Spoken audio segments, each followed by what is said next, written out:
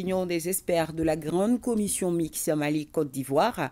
La réunion de Bamako doit permettre aux deux pays de réaffirmer leur volonté de renforcer davantage les relations de coopération bilatérale. Oui, pour précision, le Mali est le premier client mondial de la Côte d'Ivoire avec 909 milliards de francs CFA de marchandises vendues en 2022. Fousseine Tougara pour plus d'explications.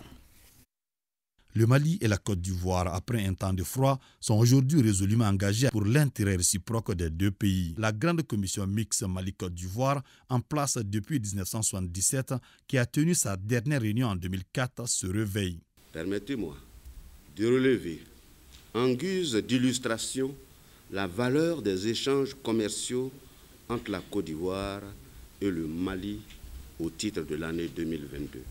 Elle est de 913,47 milliards de francs CFA avec une hausse de 45% par rapport à celle de 2021 qui était de 493 milliards 89 euh, francs CFA. Ce bon qualitatif sans précédent qui en dit long sur le dynamisme des relations de coopération commerciale entre nos deux pays fait du Mali à ce jour le premier client mondial de la Côte d'Ivoire avec 909 milliards de francs de marchandises vendues en 2022, mais également l'un des plus gros fournisseurs de la Côte d'Ivoire au niveau mondial.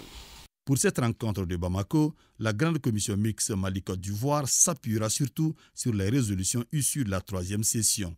Ce souhait de partir ensemble pour le bien-être des populations maliennes et ivoiriennes est également partagé par la partie malienne. Je voudrais vous assurer de la volonté politique et de la disponibilité constante des autorités maliennes de faire de la coopération avec la Côte d'Ivoire une priorité, un partenariat gagnant-gagnant et un modèle de réussite.